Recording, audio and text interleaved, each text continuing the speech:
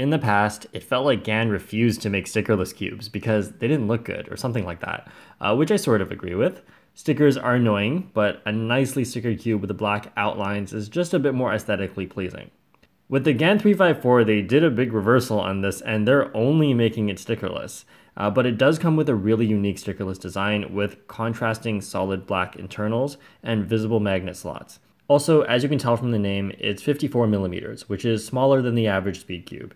Out of the box, the raw turning capability of this cube just blew me away.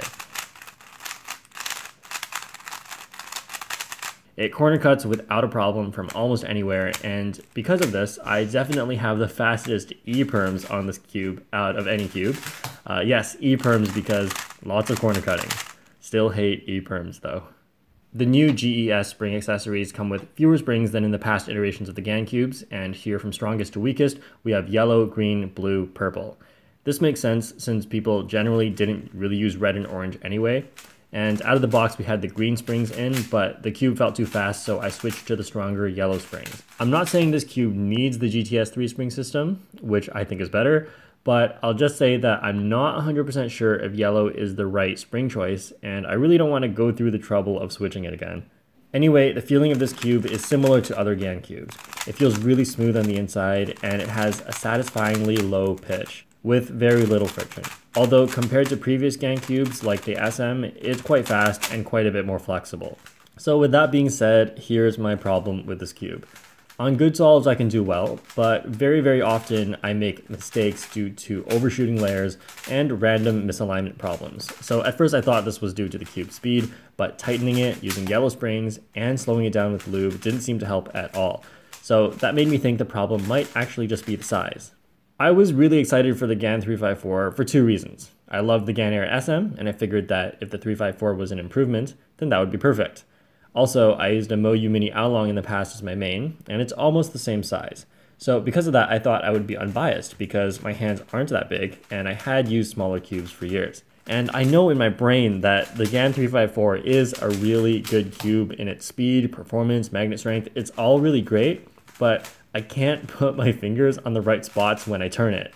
I'm not 100% sure if it's the speed or the size, maybe a combination of both, but it is frustrating. So you might be thinking, hey, you use the GTS 3M. It has ridges and it feels even bigger than a normal speed cube. Uh, wouldn't it be weird to switch over to the GAN 354? And yes, that is true, but I can switch over to the Mini Aolong just fine, and it's only a half millimeter difference. So I don't really think that me being used to this cube is much of a factor in why I can't use it so well. I have this theory that with smaller cubes, you don't have to move your fingers as far. Well, obviously that's true, but I don't know if it really makes that big of a difference. And that's part of why I like the Mini Aolong. With some algorithms, I feel like I'm going faster with smaller cubes like the GAN 354 since my fingers don't have to do as much but I'm so inconsistent on this cube that the slight improvement in my turning speed doesn't really seem to help.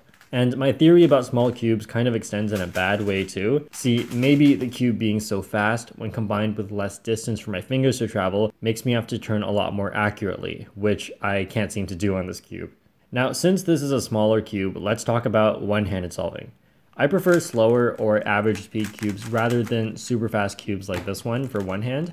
And uh, the size is nice, of course, but with one hand, I feel like there's a lot of variance in how much force you use to turn, depending on which finger and which way you're turning.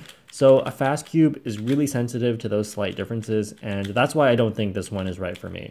So even though that's the end of the story for me, the GAN 354 is actually pretty popular. Some of its performance capabilities are so objectively good that I don't think you should pass it up just yet.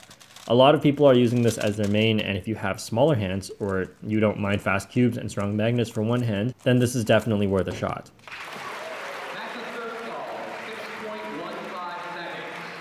And this is the part of the video where we say goodbye and I say thanks to these lovely people on Patreon for giving me the opportunity to spend more time creating cubing content and slowly working towards an actual upload schedule. But also a special thanks to Speedcube Shop for giving me the opportunity to review this cube. Use the code JPerm for a discount. And of course, thanks to you for watching this video. See you next time.